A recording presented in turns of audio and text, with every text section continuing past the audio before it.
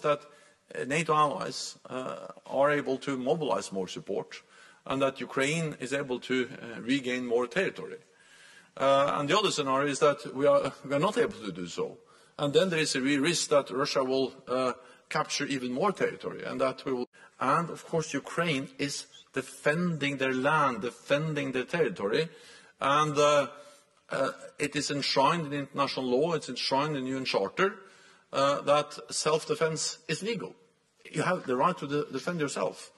Uh, and that's exactly what Ukraine does, and we have the right to support Ukraine in defending themselves, and that's what NATO allies are doing. Um, uh, we, we, don't have any plans of having any uh, NATO combat troops inside Ukraine.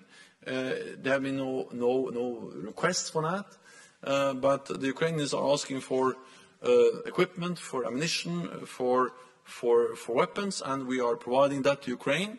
That doesn't make NATO allies party to the conflict, but we support Ukraine in upholding the right for self-defense.